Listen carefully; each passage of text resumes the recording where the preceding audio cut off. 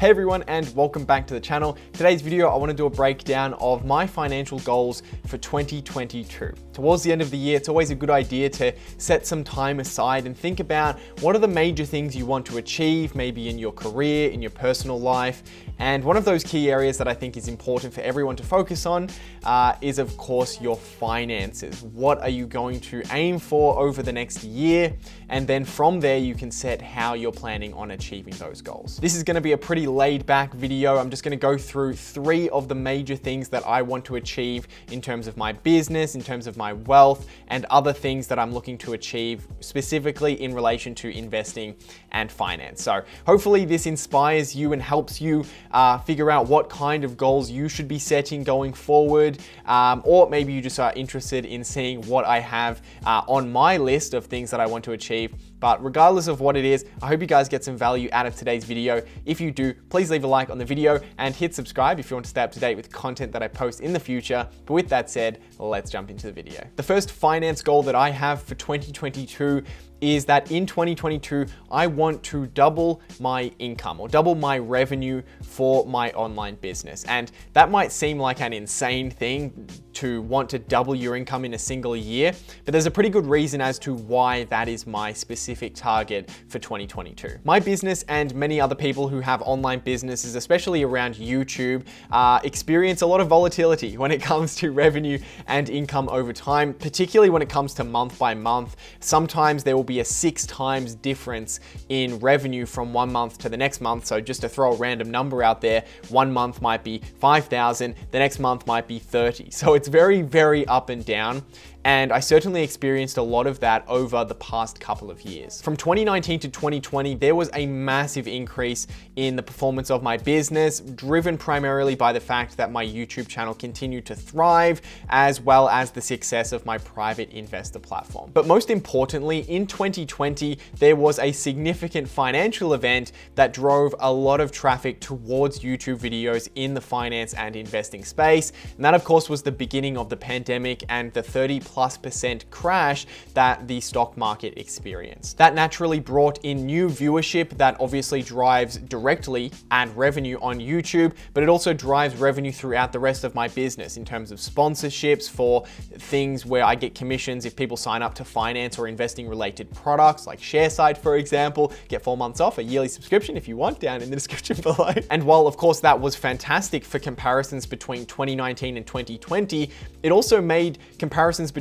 last year and this year, 2021, extremely challenging. And that's what I actually experienced this year, whereby 2019 to 2020 was a massive increase in my revenue. Between 2020 and 2021, things actually remained pretty similar. On top of the massive short-term viewership that came in in early 2020 that made comparisons difficult to 2021, a couple of the evergreen videos, videos that kind of sit on the search results and get generate consistent views for me, um, a lot of those videos videos, or a cut, not a lot, a couple of those videos that had been doing very, very well for me that I'd made in 2019, 2020 also began to die out and lose their search rank in 2021. And as a result of that, there was a significant kind of downward pressure on my viewership from some of those videos. I think the biggest example of that was the Investing in Shares Australia video. That was a video that I made in 2019. I actually made a dedicated video about how much that video made me in ad revenue. I'll leave a link down in the description below if you're interested because it is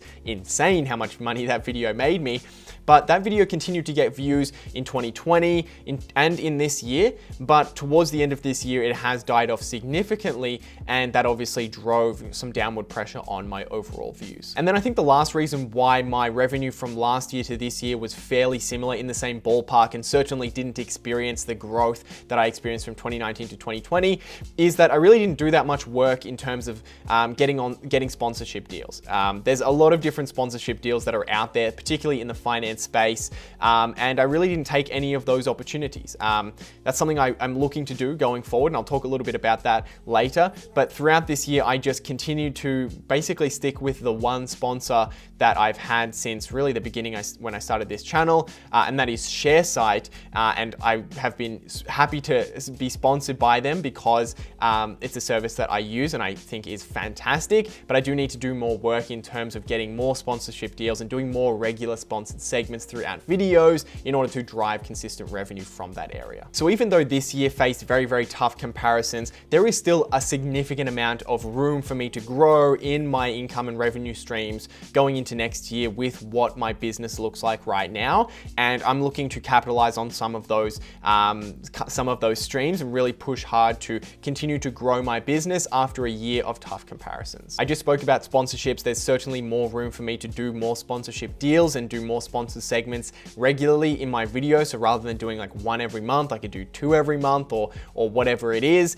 Um, in terms of YouTube AdSense specifically, I think there's easily a two to six times increase that can happen over the next year in that area. So there's a significant room for growth there. And even in my investing platform where there is a limited number of spaces available, I estimate there's probably about 20 to 40% I can gain in my revenue from that segment. So I've had a look at my business. I think there's a lot of areas where I can get more out of my current income streams.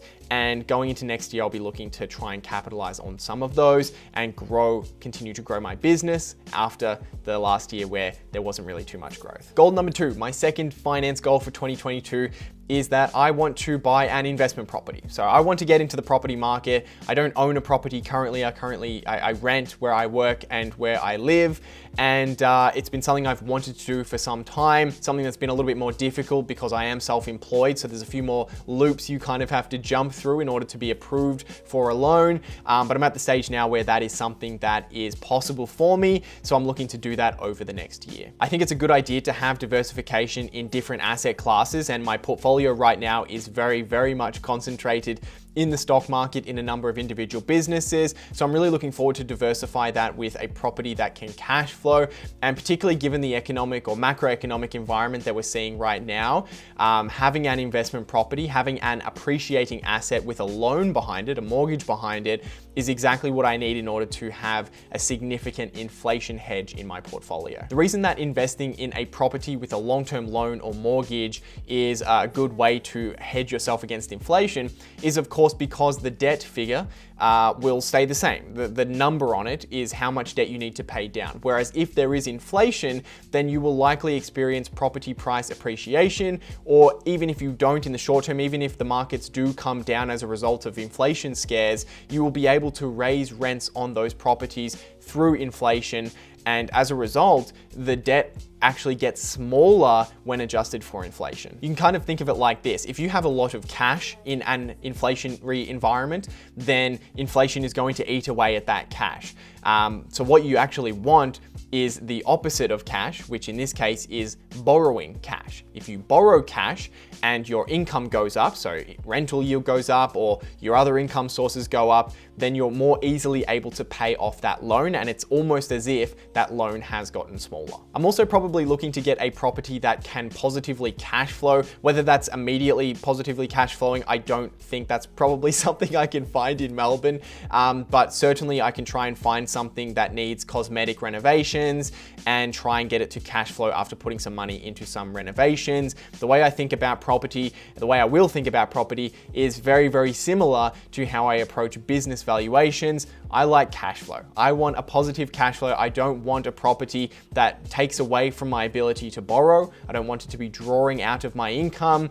Uh, I want a property that makes me money and can be an income source, generate cash flow that I can then flow into other assets, whether it's back into the property market uh, or also back into the stock market. And on top of all of that, from an investment point of view, I'm also just really excited to invest in the property market. Um, I studied property investment at university. I studied at a unit of property investment, I should say.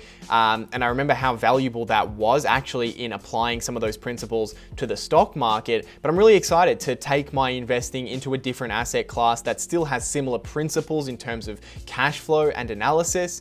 Um, so I'm really excited to go and take on that challenge um, because it's something I haven't done before. It's going to take a lot of research and a lot of learning, um, but I'm excited to have something to kind of something different to look forward to in terms of investing into the next year. And then the final goal for today's video, my goal number three, finance goal number three, for 2022 is that I want to reduce the waste in my business and save and invest more. Um, so running an online business or running any business by your, mostly by yourself, which is what I'm doing and have been doing for some time. Of course, I have contractors that help me do certain things, um, but for the most part, it's just me um, sitting here and trying to do everything.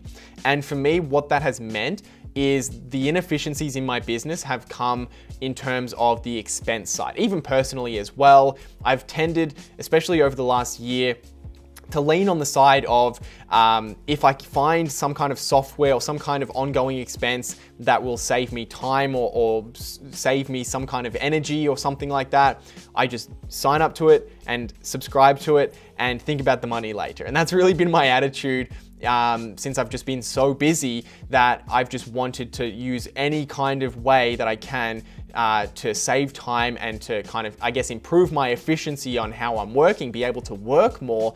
But on the money side, it's made my business on the expense side very, very inefficient. Just to give you an example, I use stock photos and stock videos in some of my content. So some of my overlays, I'll have a, a little stock video of someone in a board meeting writing something on a board, depending on what I'm talking about. Um, those subscriptions are not cheap. I think usually they run from, you know, four to $600 a year and uh, I've used a number of them. So it's a, that's you know an example of where I just need to sit down, track my expenses, and have a look at what I need going into the next year and what I don't need, and just cut out as much expense that I can, um, still keeping things that are saving me time and that I, I think are worth the gains in efficiency, um, but eliminating things that I'm not using or things where I can find a different service that is uh, cheaper or maybe is more geared towards what I need rather than a more general thing that I've just signed up for because I wanted something quickly. And given the current state of my business, this is certainly going to have less of an effect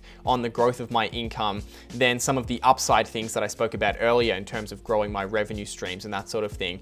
Um, but it can make a significant difference. I do think there's probably a, you know, there, there is a significant amount of profit margin improvement that can be had from uh, removing some of these expenses. And I think it's a good habit to at least once a year or every now and then uh, to take a look at your expenses, whether it's personally or in a business, and just simplify it and just clean it up. Because if you leave it for too long, it gets incredibly messy and then it's just extremely difficult to go through and fix. I kind of think of it as like weeding the garden, right? If you just leave it for two years, then you're gonna have this massive entangled expenses that you're gonna have to sit there for days and try and figure out what's a plant and what's a weed. Uh, whereas if you do it every six months or even more frequently than that, um, then you can just pick out the weeds. You can realize what you don't need to be spending money on, get rid of them, and it'll be a lot easier to maintain. But those were the three major finance goals that I have for 2022. Um, what did I say at the start? I wanted to double my income or double my revenue, I should say. Um, I want to invest in the property market and I want to organize my expenses and reduce waste, improve my profit margins in my business. So um, that's what I'm aiming for going forward over the next year. I'd love to hear what you guys are aiming for. It's gonna be different for everyone. If you're running a business, it might be similar. If you're not running a business, it will be very, very different. Um, but I'm curious to see what are you aiming at in terms of your finance and investing goals over the next year. I'd love to hear your thoughts down in the comment section below. But with that said, I hope you guys got some value out of today's video. If you did, make sure you leave a like on the video and hit subscribe if you want to stay up to date with content that I post in the future. But with that said, hope you guys have a great day and I'll see you in the next video.